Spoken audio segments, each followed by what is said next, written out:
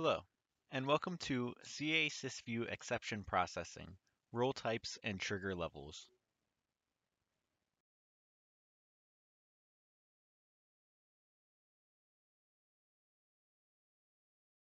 What we're going to discuss today is some some updates to some exception processing that have come out of, um, I suppose, numerous customer requests or customer questions in some cases, where there was really maybe some misperceptions of how exception processing currently worked. But the uh, the the uh, misperceptions were actually just eh, good enhancement ideas as well. So we're kind of try to incorporate kind of everything that everybody wants.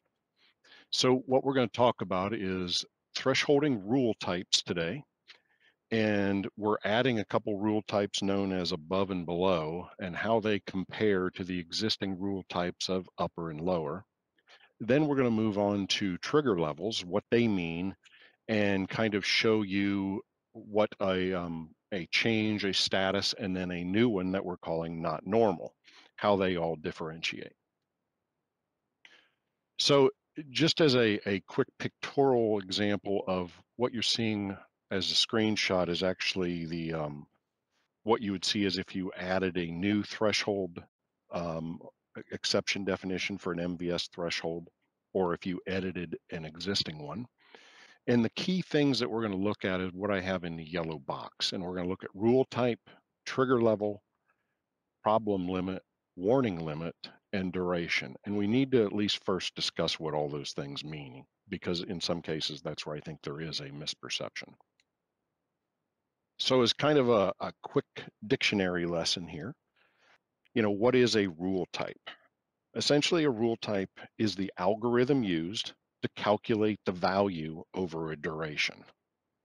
Okay, a rule is used to determine, also determine the status, or somebody might say the color of that, um, the status of a metric. So it might be, you know, so we're going to compute a value over a period of time that will then be used to determine the evaluation of that, you know, metric and its associated thresholds and we will assign a status, which is typically normal, warning, or problem. The, the next keyword there is trigger level. And different from rule type, trigger level is basically what is the method used to trigger actions and, and um, notifications. After we assign a value and a status, then how do I determine whether I want to be told about it is essentially the idea here.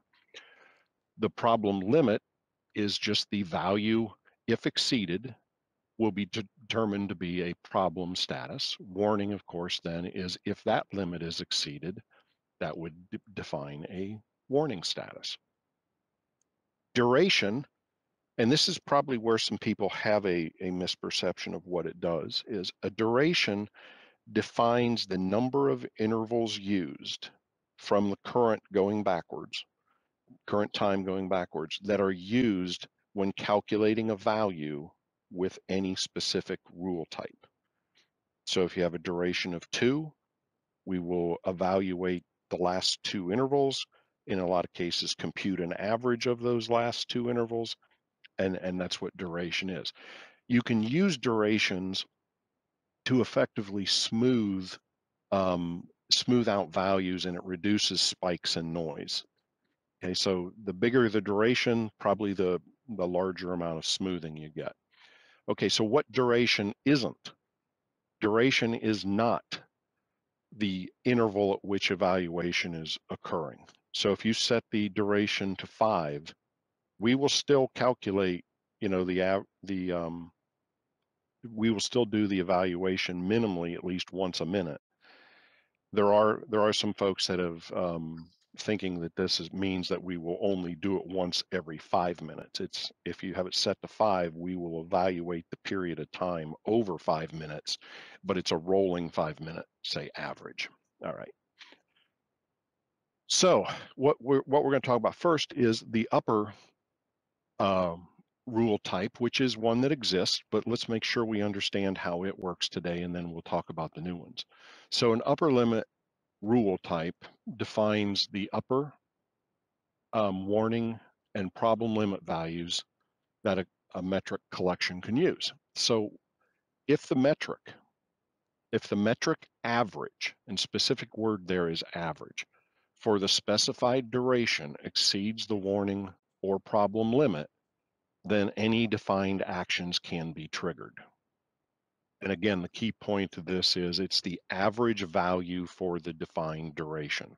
So if you have a duration of three, we will take the last three minutes or the last three collected pieces of data and average them and use that value to determine or evaluate it against thresholds.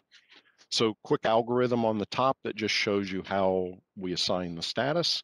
And then we'll do a quick example here. So if the average CPU percent busy over the last two minutes is 93. So what that two minutes means is we have a duration of two. And for our defined limit or our, our threshold definition, we're going to say the duration is two minutes. We would like a warning at 80%, and we'd like it to be a problem at 90%. And as I said, the dura- the average was over two minutes would be 93. So where does that fall in?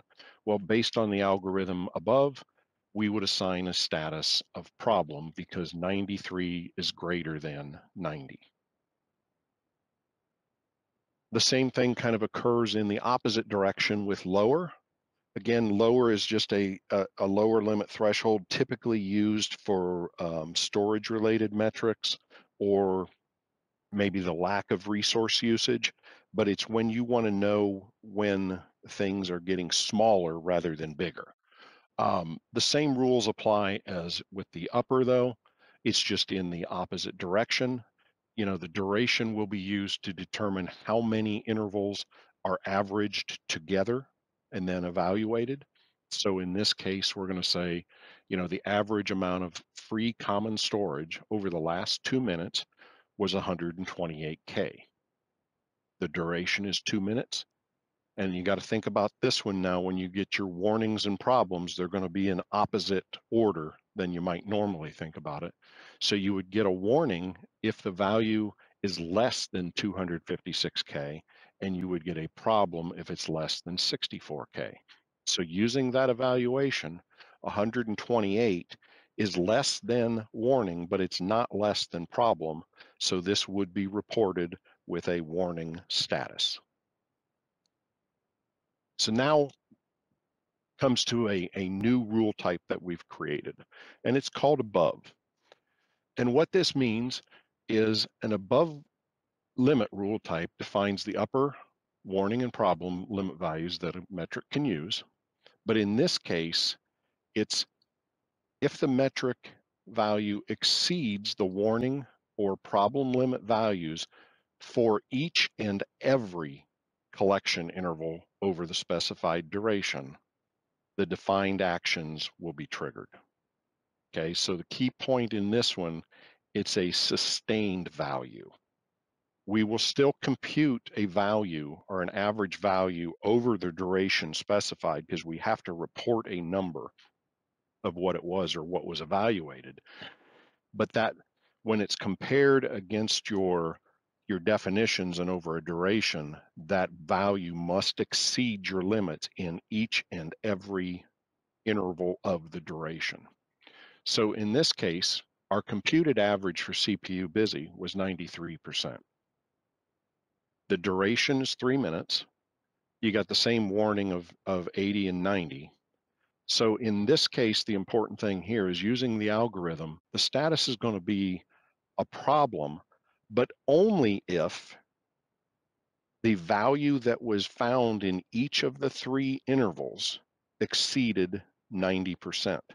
Because it is possible, remember that, you know, you could have in the last three intervals, you could have a value of 89, a value of, you know, 95, and a value of 100. So the average of those three numbers would be bigger than 90, but there was one interval that did not exceed 90, so it fails that rule. Now, in that case, it would probably trigger the, the warning um, um, specification. So anyway, it, it is, it's just important to know that the average for one of these rules could be above the value, but it did not exceed it in all specified intervals, and therefore it will not trigger that definition. It might trigger the lower um, warning, but it has to exceed all, all durations. Same thing applies to the below rule. So what this says is for each and every collection interval specified based on duration, the number that we found or monitored in each interval must be below, and it must be below in a sustained um, manner. So the same thing when you're collecting that, in this case, again, the common free storage, it's 128 over the last three minutes if in each and every case in the last three minutes it was evaluated and it was below the defined limits, it would then be triggered. So the upper and lower were just averages and averages, you know, you can get spikes and, and lows and highs, but you get an average. In this case, each individual value. Okay, moving on to trigger levels. And again, this is kind of the what happens after we do the evaluation you know, what do you want me to tell you? How do you want me to cause a trigger to happen? So a trigger, you know, a threshold, when it triggers, it'll trigger when one of the following occurs. And this is specific to our trigger level known as change. And the idea here is tell me tell me when the evaluation changed is the reason for this. And the first part of this is if the condition gets worse within the same status. So if you have a stat, currently have a status of warning or problem, and essentially the number gets higher. If you've already been notified and the number gets higher, we'll notify you again. The second bullet there is the status value changes. So anytime the evaluation changes the status from say normal to warning, warning to problem, problem to warning, problem to normal, or if you want to think about it as if the color changes, you would be notified. Okay, so in this particular case, we're going to do a quick example on the right-hand side. My example, and this will be the starting example for each of my three kind of bullets here. My, my threshold is defined the warning at 80%, problem at 90%. The last triggered value is 95% known as problem. And last triggered value is this is the last time we did a notification to somebody or the actual um, actions were triggered. So in our first test here, the new value is 97. That would be evaluated to be a problem. Question is, does it trigger? The answer is yes. Now the question is why? Well, 97% is worse or greater than 95. So the problem essentially got worse. So we are going to notify you again. And that falls into the first bullet on the left-hand side that says the condition got worse within the same status. Bullet two, where you have the new value of 92. And again, we're going to compare it back to the guy at the top there, the last triggered of 95, not the, the second bullet there. But if we do an evaluation of 92, that would get evaluated as being a problem because it's greater than 90. Would it trigger? And the answer is no. And the reason is we previously triggered at 95. 92 is not worse, so we are not going to tell you again. The bottom bullet there is our new value is 95, status being warning. Does it trigger? Yes, it does. The reason is you changed statuses. You went from problem to warning, or in a lot of cases, you might think from red to green. Now, a key point on this is you use change when you want to reduce the nagging of thresholds. You know, the idea here is I don't want to tell you every single time. I want you to tell when something got worse or something changed. The status one is slightly just a smaller version of change it only alerts and gives you a notification whenever the status value changes, or you might say the color changes. So it's a very simple thing. These are the same examples as before. And I'll just point out the, um, the, the first one there. Again, we started with the 95 at problem. Our new value is 97. still a problem. Doesn't matter if it got worse or not, it did not change color or status. It's still a problem. You're not going to get told again. Uh, we'll jump to the bottom one. Um, 75 goes to normal. That does change a status color. It goes from problem to normal. Therefore, that meets the criteria of the status trigger level and you will get new notifications. Okay, the, the final thing here, and this is the new trigger level known as not normal. Now, this one, hopefully it's somewhat intuitive. I want to be triggered. I want to be notified. I want actions to be triggered anytime it's evaluated in a not normal status. Okay, so that includes things whenever you get a status change. It will definitely trigger when you change from you know color to color. And I will also point out that it, it, you only get triggers when you are above normal. But remember, we always, when you go down in color or down in um, problem status, problem to warning, and warning to um, normal, that will always trigger a normal case as well, because we always have to tell you when this um, gets better. So again, in the top case, you start with 95 being a problem. In next cases, you got a 97. That's still a problem. Does it trigger? Yes. Um, why? Because problem is greater than normal. It's in a not normal condition. Um, same thing on the next one where it's 92. 92 is less than the 95 where we've already triggered that. But in this case, you said you want to be notified anytime it's not normal. The bottom one, of course, we go from 90, we're going essentially from 95 down to 75, which is a status of normal. Why does it trigger in this case?